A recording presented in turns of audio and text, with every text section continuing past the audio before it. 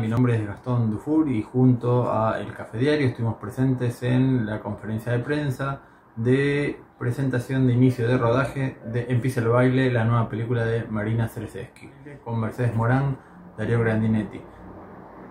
Y aquí les vamos a contar todo al respecto. hay mucho nervio, aquí se agrega, es verdad, se agrega esta incertidumbre. Eh, ¿qué, ¿Qué tiene de bueno? No sé qué tiene de bueno. La verdad, no tiene nada de bueno. en una pandemia, no, sé. Esto que antes decíamos, nos vamos a salir mejores. Yo no sé, creo que no, todavía. Y, para, y para trabajar y para rodar, de bueno no tiene nada.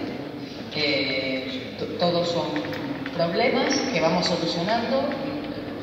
Puede ser que tenga de bueno que vemos que nuestro equipo de producción funciona y que se van solucionando todas las cosas que van apareciendo y que, vemos que, es posible eh, y intentar hacerlo de la mejor manera, con muchísimo cuidado, y, pero yo tengo el mismo nervio que tengo siempre al empezar. Eh, la misma dolor de estómago, tengo, lo mismo. Entonces, es verdad, esa incertidumbre hace una vuelta de tuerca a ese nervio, pero un poco no hay que pensar, hay que seguir para adelante, cuidarse y intentar seguir para adelante lo mejor posible.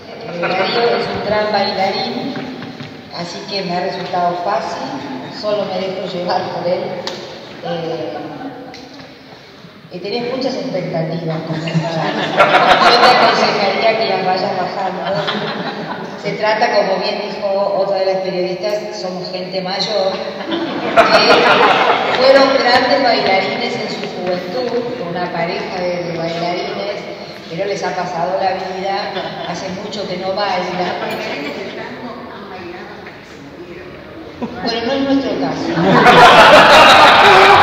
Porque mi compañero, mi compañero, además de ser bailarín de tango, que lo fuimos, fuimos una pareja de tango en el pasado, eh, después se diversificó y eh, se fue a trabajar como actor a España. Entonces, por eso el reencuentro. Y Chuquito y yo nos quedamos acá naufragando y el Señor se fue a triunfar a, España. Por eso el reencuentro, que es lo que cuenta esta historia, el reencuentro de estos tres personajes, en este volver, ¿no? bien como el tango, eh, y a vernos después de mucho tiempo, donde lo primero que se nos revela es que todo aquello, aquella pasión que compartimos en el pasado, está bastante intacta, mucho más de lo que querríamos por momentos, porque si bien nos une, también hay algo de esa, unión que estamos viendo. Eh, pero bueno, en este reencuentro eh, se rememora mucho aquella época. Así que se baila un tanguito, pero tampoco es que estamos haciendo una comedia musical sobre el tango. Piazzolla a la cabeza de, este grupo, me imagino que lo, conocen porque es una maravilla. Eh, para nosotros es un lujo también porque yo cuando escribí puse un tango de Piazzolla en una de las escenas porque me parecía que era de la única manera que se podía contar esa escena con un tango de Piazzolla.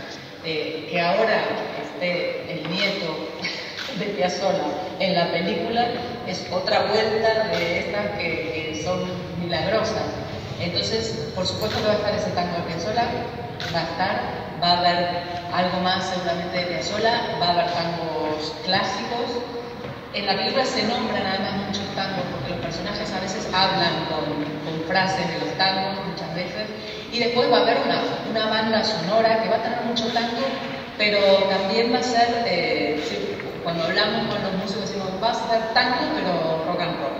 Quiero decir, que va, a tener una potencia eh, de, una comedia dramática como es esta, que no solamente es el tango con toda su nostalgia y toda su parte, sino la parte más apasionada y marchosa que también tiene el tango y que creo que hay que reivindicar, ¿no? que no solamente el tango es eh, la nostalgia, me dejó, ella, ella me abandonó, sino que el tango hay una pasión y una identidad argentina que, va a estar de muchas maneras.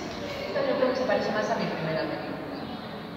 Por el acercamiento de la cámara a los personajes, por cómo se cuentan los sentimientos de los personajes y cómo se van desvelando los secretos, porque son personajes los tres que guardan muchos secretos, algo que pasaba también en, La Puerta Abierta. Eh, Puerta Abierta mucho más drama, tiene un poco más de comedia, más, más ligero, pero sigue habiendo mucho drama por abajo.